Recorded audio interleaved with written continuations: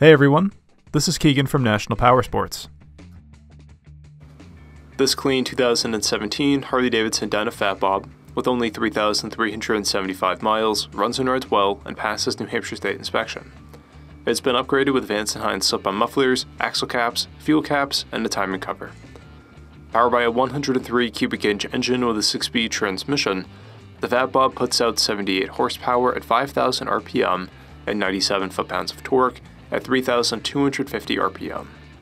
It has a seat height of 27.2 inches and a dry weight of 674 pounds. If you're looking to get onto your first big twin, the Fat Bob would be a great choice.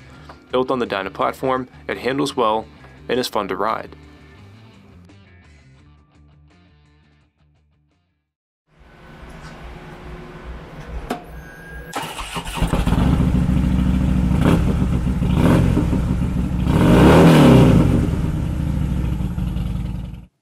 This vehicle has been fully serviced, detailed, and comes with a 90-day nationwide warranty.